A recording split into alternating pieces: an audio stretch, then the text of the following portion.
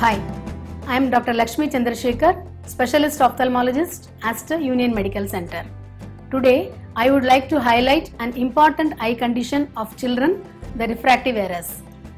The common refractive errors in children are myopia, astigmatism, and hypermetropia. What is myopia? Myopia is a condition where, due to the curvature and length of the eyeball, the images fall in front of the retina, causing blurred image and diminished vision. Astigmatism is a condition where the image doesn't focus in a single point, but due to the different points of focus, children have a blurry vision. Hypermetropia, where the eyeball length is small and the curvature is less, and the images fall behind the retina, causing a blurred vision. Children can have symptoms like watery, itchy eyes, rubbing of the eyes, headache, and blur vision, doing not well in the school.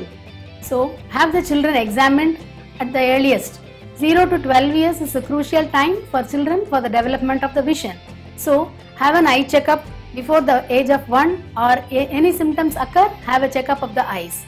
Early correction of the refractive conditions either with glasses, contact lens at appropriate age or lasers can help to rectify this condition. Take care of the eyes of your children for a healthy vision. Thank you.